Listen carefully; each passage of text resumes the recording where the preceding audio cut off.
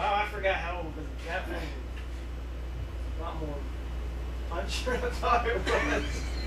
That scared the hell out of some old lady.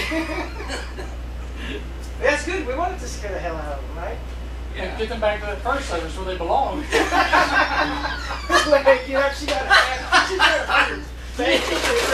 You need to throw that. Why don't you take you and your catheter back to the first service where you belong? You and your catheter. She got her,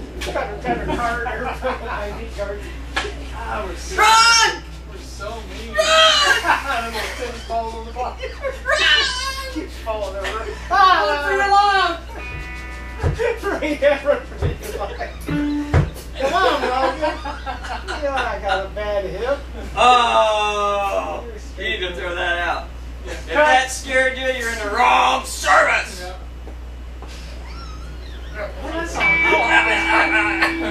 it only seems like an eternity.